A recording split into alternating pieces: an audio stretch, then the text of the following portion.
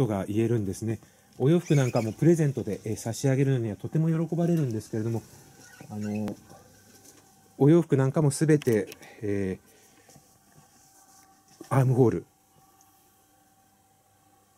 ここが、えー、ゆったりできています。普通の M とは違います。年配の方の M とは、普通のあの若い人の M とは違います。S サイズのあのお洋服なんかでも全く違います。この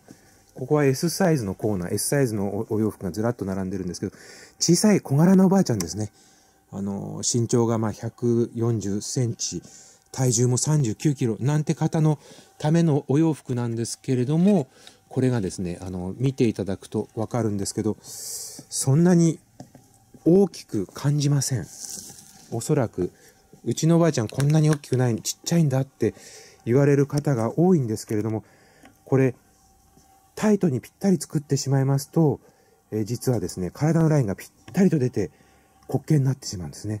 あのー、体のラインを、まあ、見せすぎず、しかもダブダブした印象を与えないように作るのが、この S サイズのおばあちゃんをお洋服の特徴でございます。